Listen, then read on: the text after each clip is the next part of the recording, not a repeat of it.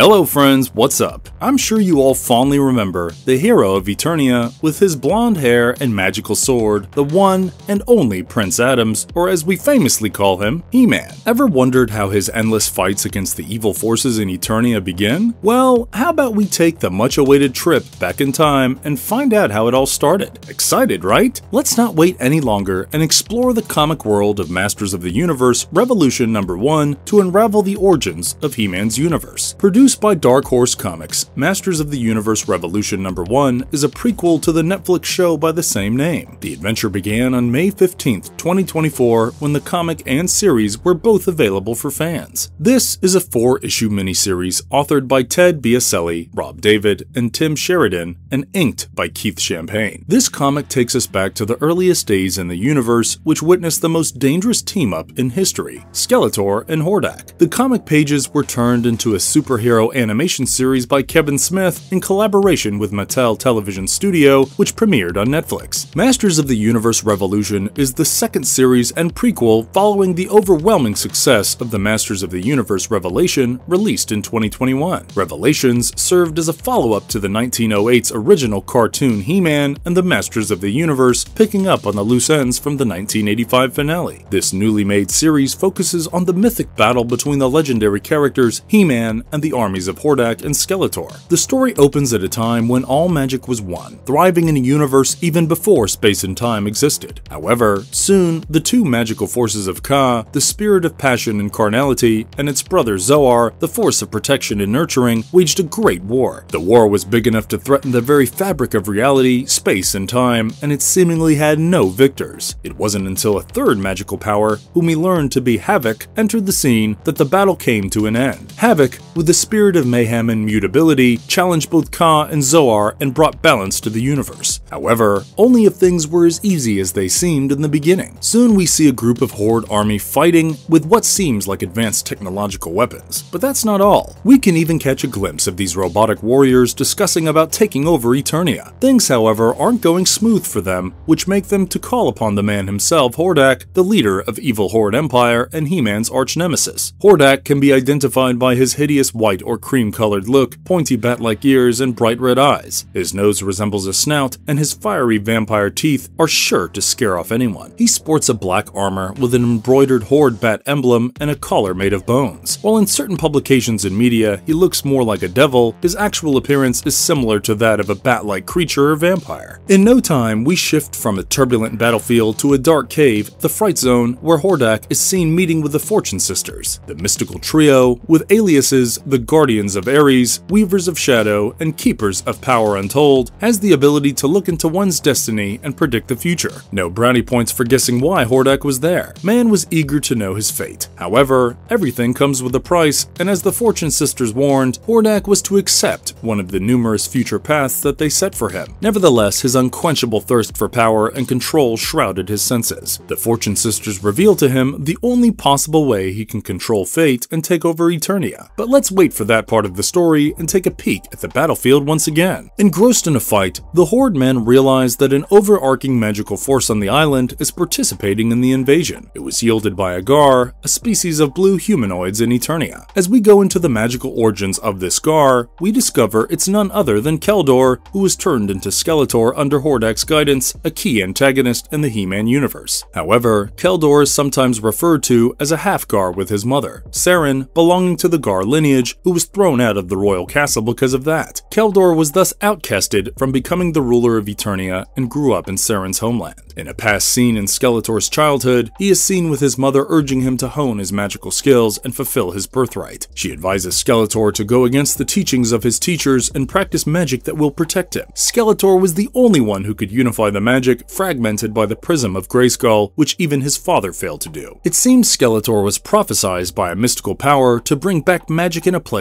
where it was banned and rule Grayskull, the fortress of power in Eternia. Keldor's only aim was to possess the secrets of Castle Grayskull and become the ruler of the universe. In a flashback sequence, Skeletor is seen harnessing his magical powers to become strong enough to take over the world and ask his mother who made the prophecy of his fate. However, this remains a mystery for both Skeletor and us. Skeletor is typically portrayed as a villainous sorcerer with a skull visage and blue skin. Now, let's go back and find out what the Fortune Sisters told Hordak about about his fate. The trio told him that there was only one way to conquer Eternia by preventing the birth of Grayskull's heir with the help of the Staff of Havoc. The Staff of Havoc, in the hands of someone who is born from the fires of Havoc itself, is the greatest sorcery in the world, and the only way to alter reality and stop the destined birth of Grayskull's heir to overturn fate. Their heir is our talked about hero, Prince Adams or He-Man. Any guesses who was born from the fires of Havoc? Tell us in the comments below. However, the sisters trio also tells Hordak that his destiny is intertwined with someone else, someone with whom he'll walk parallel paths,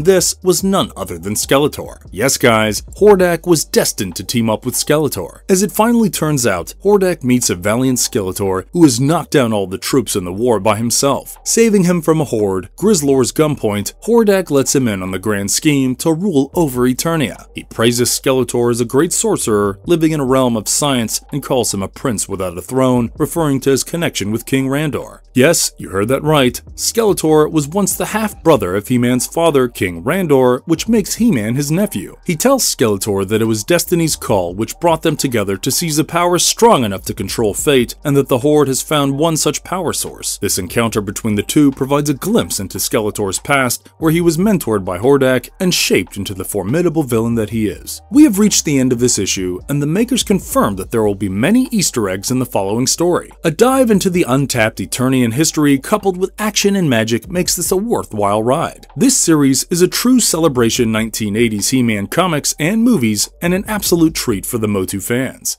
Marvelous verdict. In my opinion, He-Man and the Masters of the Universe Revolution has the best of both worlds. It takes a sneak peek at the past while also offering an air of freshness. The creators made sure that it's a perfect reboot of the 80s classic by crafting an engaging narrative and brilliant animation. If you love a thrilling drama, this is a must-watch show. Its timeless themes of heroism, relationships, and the never-ending battle between the forces of good and evil will get you hooked. The childhood nostalgia is a cherry on top for longtime fans. I believe the plot twists will make the show a huge success and keep viewers excited for each new episode. And if you liked our content, don't forget to leave a like and subscribe to us if you haven't already. Have a good one and be safe. Thanks everyone.